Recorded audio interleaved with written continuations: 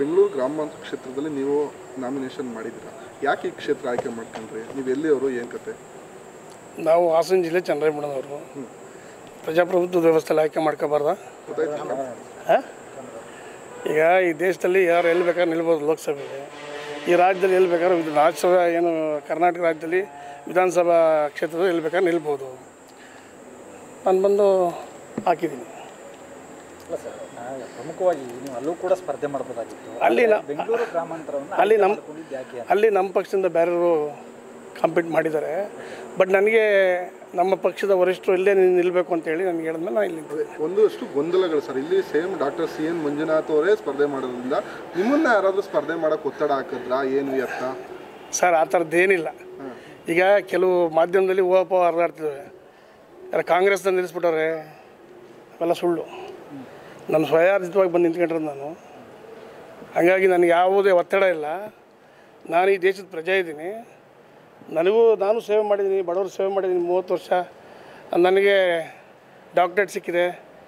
ನಿರಂತರವಾಗಿ ಕೆಲಸ ಮಾಡ್ತೀನಿ ಹಾಸನ ಜಿಲ್ಲೆಯಲ್ಲಿ. ಮತ್ತಿಲ್ಲೂ ನಮ್ಮ ಸಂಘಟನೆ ಭಾರಿ ಚೆನ್ನಾಗಿದೆ. ಯಾವ ಪಕ್ಷದಿಂದ ಸ್ಪರ್ಧೆ ಮಾಡಿರೋದು ಸರ್? ಬಹುಜನ್ ಭಾರತ್ ಪಾರ್ಟಿಯಿಂದ. ಏನು ನೀವು ಡಾಕ್ಟ್ರೇಟ್ ಎಲ್ಲಿ ತೊಗೊಂಡಿರಿ ಹ್ಯೂಮನ್ ಗ್ಲೋಬಲ್ ಯೂನಿವರ್ಸಿಟಿ ಬೆಂಗಳೂರು ಇದು ಚೆನ್ನೈ.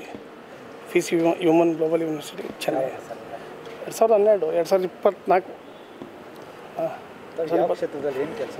ನಾನು ಕರ್ನಾಟಕ ದಲಿತ ಚಳವಳಿ ದಲಿತ ಸಂಘಟನೆ ಕೆಲಸ ಮಾಡಿದ್ದೀನಿ. ಬಹುಜನ್ ಸಮಾಜ ಪಾರ್ಟಿ ಕೆಲಸ ಮಾಡಿದ್ದೀನಿ. ಚುನಾವಣೆ ಅನುಭವನೂ ಇದೆ. ಸ್ಪರ್ಧೆ ಮಾಡಿದ್ರ ಸರ್ ಬೇರೆ ಚುನಾವಣೆಗಳು ನಾನು ಐದು ವರ್ಷ ಕೌನ್ಸಿಲರ್ ಆಗಿದ್ದೆ ಮುನ್ಸಿಪಾಲ್ ಇನ್ಚಾರ್ಜ್ ಪ್ರೆಸಿಡೆಂಟ್ ಇದೆ ಐದು ವರ್ಷ ತಾಲೂಕು ಪಂಚಾಯತ್ ಮೆಂಬರ್ ಇದ್ದೀನಿ. ಆರು ವರ್ಷ ಶುಗರ್ ಫ್ಯಾಕ್ಟ್ರಿ ಯೂನಿಯನ್ ಪ್ರೆಸಿಡೆಂಟ್ ಇದ್ದೀನಿ.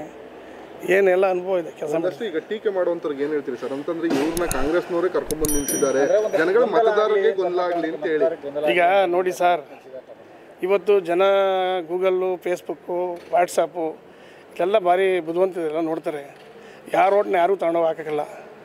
ಈಗ ಅವರು ಬ ಅವರಿಗೆ ಏನೋ ಅವ್ರ ಪಾರ್ಟಿ ಚಿಹ್ನೆ ಇದೆ ಅವ್ರಿಗೆ ಓಟ್ ಕೊಡ್ತಾರೆ. ನಮ್ಮ ಪಾರ್ಟಿ ಚಿಹ್ನೆ ಇದೆ ನಮಗೂ ಓಟ್ ಕೊಡ್ತಾರೆ. ಇನ್ನು ಬೇರೆ ಏನು ವಿಚಾರ ಇಲ್ಲ. ಯಾರು ಮೂರು ಕಾಂಗ್ರೆಸ್ ಕಾಂಗ್ರೆಸ್ಸನ್ನು ನಿಲ್ಲಿಸೋರಂತ ಕಾಂಗ್ರೆಸ್ ಅರ್ಧ ಕಾಫಿನೂ ಕೊಡೋದಿಲ್ಲ. ಅವ್ರು ಯಾರು ನಮ್ಮನ್ನು ಭೇಟಿನೂ ಮಾಡಿಲ್ಲ.